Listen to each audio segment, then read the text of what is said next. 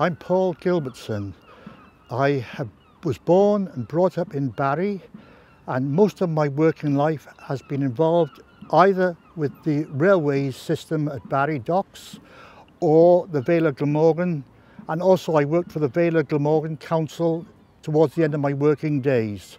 I started work here on the railway in South Wales in, in Cardiff in 1960 and transferred on a promotion to Barry, which is my hometown.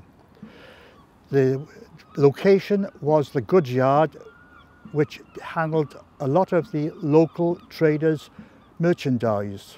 The main property of goods there was coal, but we did handle animal foodstuffs, provender, and I was there for five years.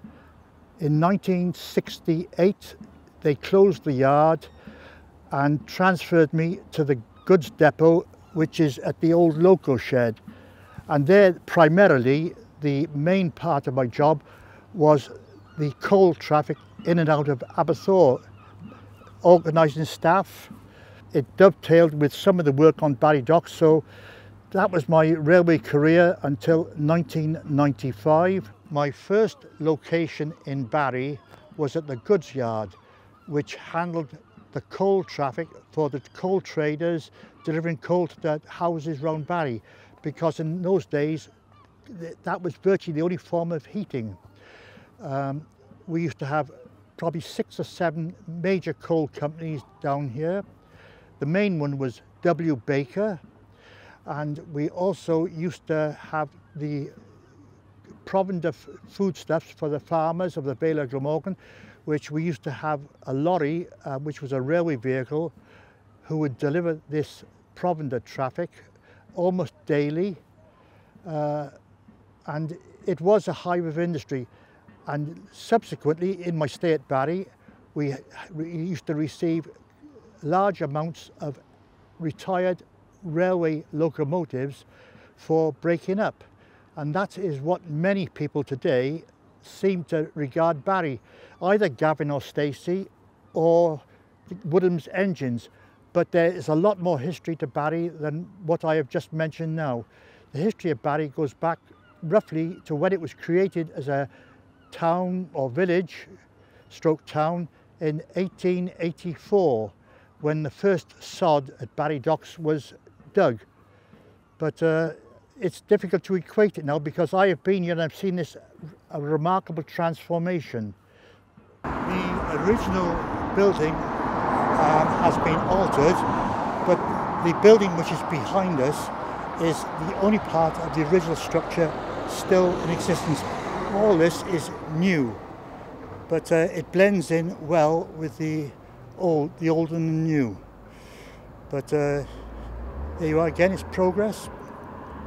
I was an eager young lad, so I took on the responsibilities and I handled all the documentation in and out of the dock for Geest Industries, who were the major importers of banana traffic into Barry, the coal traffic, which came in from the valleys and West Wales. Also, uh, there was the chemical industry down at the east end of the dock, which was consisted of uh, Dow Chemicals, BP Chemicals, Distrene, they were the main people down that end of the dock. They were subsequently swallowed up and they formed BP Chemicals and I think at the end of the day they altered their name to ICI Chemicals. But Barry was a busy place, but now it's very much a tourist location then. So in the space of 50 years, there's been a dramatic change here. And I would say it's something that our parents or grandparents wouldn't have envisaged. When I took up my position, the area where we're sitting now was the running roads which brought traffic down from the high level sidings between Cadoxton and Barry Dock and they had trains up and down there all day long either servicing the goods yard or Woodham's or Dow Chemical or BP Chemicals. Um, it was busy from six in the morning till seven or eight at night. And also another form of traffic which was moved from here latterly was the scrap metal recovered from the breaking up of the engines which were under Woodham's instructions to, to break up. But uh, at the end of the day, life was good here. Another form of traffic that was handled down here in the early days of my work in Barry was at Barry Town Station and Barry Island, where we used to have the circuses, Billy Smarts, Chipper, Chipperfields, um, Bertram Mills, they used to bring their animals down and their tents, equipment, and they used to offload either at Barry Sidings, um, which is now a car park, or at Barry Island.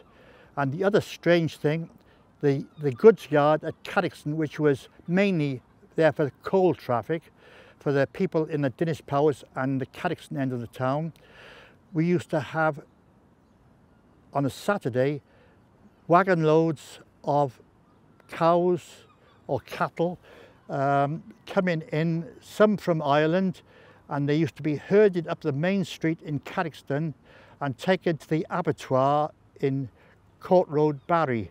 And it was a strange thing because after we had, uh, I had seen the cows marching up there, the residents used to come out with their shovels and collect up the drop-ins. But um, this was all in the day's work and uh, we took it for granted. After the railway actually closed down on there, it lay fallow for a few years and it was taken over by a number of small concerns. One was coastal coaches, where they were a small firm who ferried children round to school um, it was the early days of the school bus service. Um, they were there for a few years and after that um, the Bristol Channel uh, paddle steamers had their headquarters in Gwalior buildings. Along here was uh, the a running line, it was called number one road and in there wagons which were waiting to go in the shed to wait to be discharged or loaded were stored in this road here. And also in latter days, Woodham used to store some of his engines here before they went into the breaker's yard. Down the far end of the building, at the west end, is the elevated part of the building and in that was the office that I was used on my days down in 68, 64 to 68. The conditions here were very, very primitive. And just the other side of where that parasol is was a weighbridge where road vehicles, they were teared in and re-teared going out so they must have the right volume of coal. The main road skirted from the tunnel right across the dock towards Barry Island. It went straight across. I mean, I wasn't here in what would be the glory days because this building, from memory, I think goes back to late Victorian or early Edwardian days um, and it was built for the Barry Railway Company. And then eventually it was taken over by the Great Western Railway, subsequently then British Rail or British Railways. And then it went out for local firms to use before it finally closed down in the 1970s. It's history now, they've gone.